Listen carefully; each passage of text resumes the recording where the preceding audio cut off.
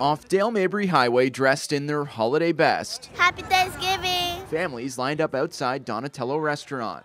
change of pace, cater to mom a little bit. So we're out here enjoying the day. For decades now, locals have been enjoying Thanksgiving meals served up by this classic Italian eatery. We'll feed about a thousand people today in the restaurant. Hey, Happy good to Thanksgiving. say hey. Welcome, nice to see you. Gino Tiozzo is the co-owner and general manager, Come here, give me a hug. truly a man of the people. Tampa's where I, I grew up, where my children are growing up, and where I choose to be in life, and I'm very thankful for that. And him, his staff, and volunteers make it a point to show how thankful they are.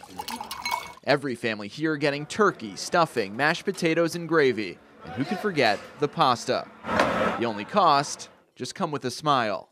We're enjoying everything. That's my dad. It started with Gino's father, Guido Tiozzo, who opened the spot in the 80s, and a few years later came up with the idea. He wanted to do something that give back to the community that supported us and welcomed us in so graciously. With Billy Crystal and Joe Torre, Guido passed away in 2019, but photos of him still loom large alongside many celebrities who've shared a meal here. here with Wynonna Judd, I really like this one. Even if your photo's not on the wall, How's your meal? you still get treated like a star. God bless you. Happy you're here. It's part of the experience with suited up staff and gifts for the kids.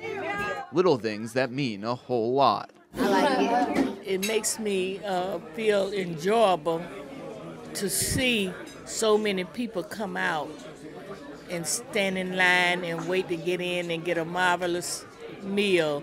He's doing a wonderful job. A job Gino's dad would still be proud of, Everybody okay? and one he hopes to continue for another 40 Thanksgivings. God willing. it's not up to me, but you know, God willing, yes. In Tampa, Aaron Parseghian, Happy Thanksgiving! 10 Tampa Bay.